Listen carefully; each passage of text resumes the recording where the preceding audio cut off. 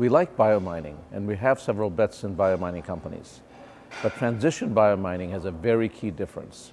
It's already proven that the microbiome of copper heaps and the improvement of them is related to higher yields of copper, and there's lots of money to be made there. But Transition's proprietary biostimulant technology allows it to do so as a drop-in solution with absolutely low capex. So the revenue to asset ratio is quite favorable for any biomining company.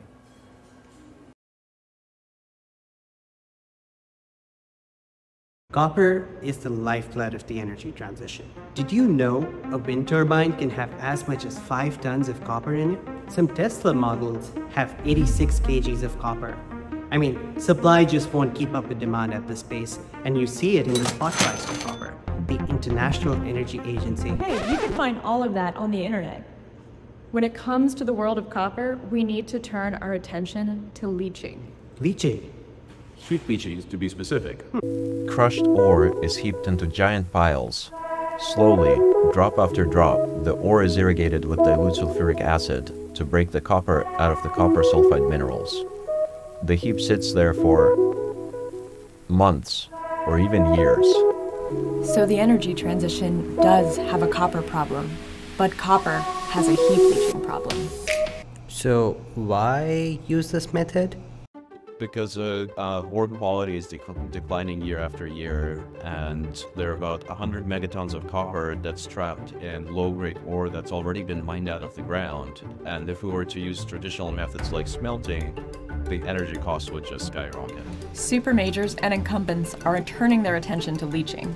Rio Tinto, the mining giant, has a JV with Nuton, a bioaugmentation approach. Bio? I've heard biomining doesn't scale. Yeah, biomining doesn't scale if you're working with microbes that are born and bred in labs and then adding them to these really rugged environments. Yeah, people have been trying to do it for decades and it really hasn't worked out. What makes you guys different? Well, every mine, every heap already has its own microbiome that's evolved to oxidize the ore and solubilize the metals in the process. These are nature's built-in miners. Yeah, so we're not adding microbes, we're working with the ones that are already there, but we're supercharging them with off-the-shelf biostimulants that we custom formulate for every mine. Yeah, and that doesn't need any expensive first-of-a-kind capex.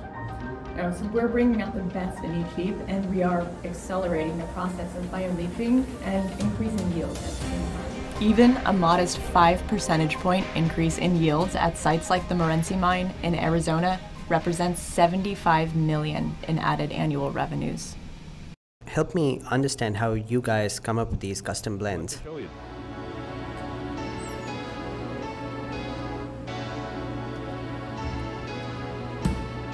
So it all starts with these column reactors that we designed that we're calling the pink flamingos. In there are samples from a real mine in Australia. And with the help of these little contraptions, we can squeeze DNA out of rock. We use sequencing and bioinformatic analysis to model heap microbiome interactions to formulate our biostimulants. In our first run, we discovered species in these ore samples that have never been documented in literature.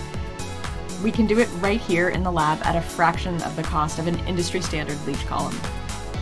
With just a dozen ore samples and our trusted pink flamingos, we can combine four families of off-the-shelf biostimulants. Screening a sample space with tens of thousands of possible combinations. Yep, there's no way I would have found that on the internet.